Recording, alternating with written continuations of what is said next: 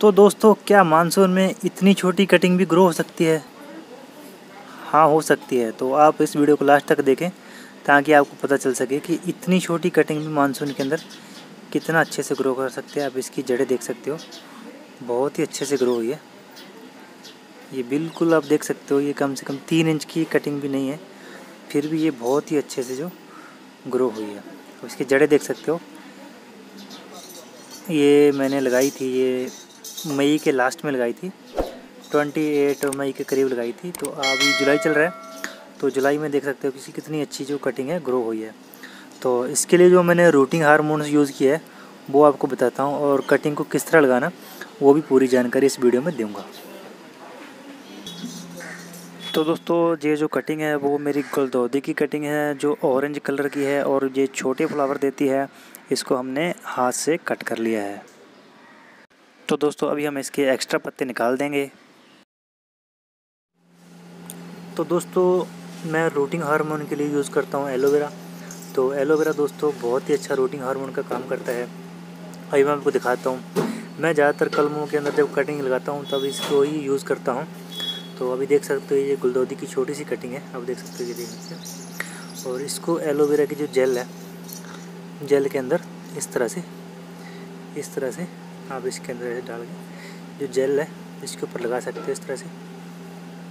उसके बाद इसको यहाँ हाथ से खड्डा करके ज़मीन के ऊपर आप देख सकते हो। उसके बाद दोस्तों, आप हाथ की मदद से या लकड़ी की मदद से यहाँ ज़मीन को थोड़ा सॉफ्ट करके इस तरह से खड्डा करके इसको इस तरह से दबा देना है और इसके बाद इसमें पानी डाल देना है। और इसके अंदर जो पानी है, उसको रेगुलर डालते रहे। ताकि ये थोड़ा थोड़ा गीला रहे। ज़्यादा मतलब इसमें पानी खड़ा नहीं होना चाहिए। सिर्फ़ यहाँ पर गीला रहे तब ताकि इसकी जो जड़ें हैं जल्दी से ग्रो कर सके। और इसको छाया के अंदर रखना है, जो यहाँ पर मैंने लगाया, यहाँ ज़्यादातर देर छाया आती है, सुबह की सो, थोड़ी सी धूप आती है तो ये बहुत ही अच्छे से ग्रो कर जाएगी। तो अभी हम इसके ऊपर डाल देते हैं पानी। पानी को हम स्प्रिंकल कर देंगे। इसकी जड़ों के अंदर जहाँ पर हमने लगाया, नीचे ज़ोर से पानी नहीं डालना, जिससे ये मिट्टी है, जड़ों से हट जाए और ऊपर जो हमारी बेल है, बाहर निकल जाए। इसलिए दोस्तों, इसको पानी जो डालना है, वो सॉफ्ट तरीके से डालना है।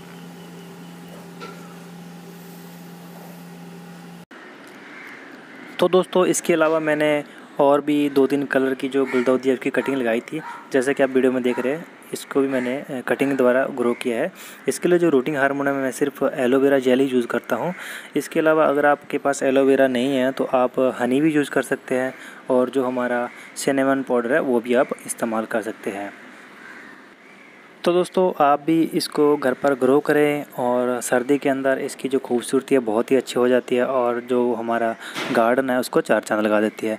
तो दोस्तों, गुलदौदी को बुशी टैप बनाने के लिए इसमें सैकड़ों फूल किस तरह लेके आए, इसके ऊपर मैंने एक ऑलरेडी गुलदौदी के ऊपर वीडियो डाल रखी है। उसका लिंक मैं डिस्क्रिप्शन बॉक्स में दे दूँगा और आई बटन में भी दे दूँगा, आप क्लिक करके उस वीडियो को भी देख सकते हैं। तो दोस्तों, अगर आपको हमारे द्वारा दी गई जानकारी पसंद आई तो इस वीडियो को लाइक और शेयर ज़रूर करें और साथ ही साथ अगर आपने अब तक हमारा चैनल सब्सक्राइब नहीं किया तो इस चैनल को सब्सक्राइब कर लें ताकि आपको गार्डनिंग से रिलेटिव और भी वीडियो का अपडेट मिले सबसे पहले। तो मिलते हैं दोस्तों अगली वीडियो में, तब तक के लिए बाय बाय